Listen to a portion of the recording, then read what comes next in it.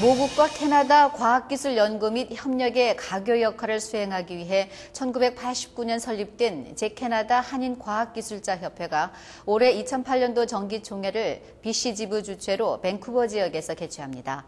순수 봉사로 결성된 한인과학기술협회는 이공계 학부생 및 대학원생을 모국에 파견해 국내 전문가와 과학기술 상호 교류의 장을 갖는 Young Generation Forum 사업은 물론 한국 정부 과학기술 관련 국제 프로젝트 및 Brain Pool 사업의 창구 역할 등을 수행해 오고 있습니다.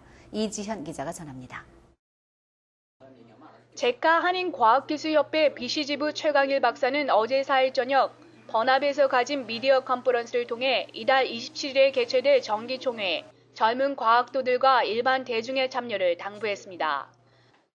각종 현황 보고 및 감사 보고는 물론 각 분야 전문가들이 자신의 연구 결과를 발표하는 학술 세미나, 그리고 SK 장학금과 NMSC 장학금 등 다양한 장학금 수여식이 있을 예정입니다. 특히 우수한 젊은 과학기술 인재 양성과 과학자와 대학생들 사이의 인맥 네트워킹을 구축하고 있는 협회 참여와 장학금 선발 제도에 역량 있는 많은 이공계 학생들의 지원을 당부하기도 했습니다. 장학금 신청은 이번 달 12일까지 이루어지며 캐나다 시민권과 영주권을 가진 이공계 분야의 학부 3학년 이상 또는 대학원생이라면 누구나 지원할 자격이 주어집니다. 심사 기준은 단순히 성적 우수자를 뽑기보다는 협회 설립 취지에 걸맞고 한국인으로서의 정체성과 한인 커뮤니티를 향한 봉사 정신의 소유자, 그리고 적극적인 협회 활동을 펼치는 학생들 위주로 선발될 것이라 전했습니다.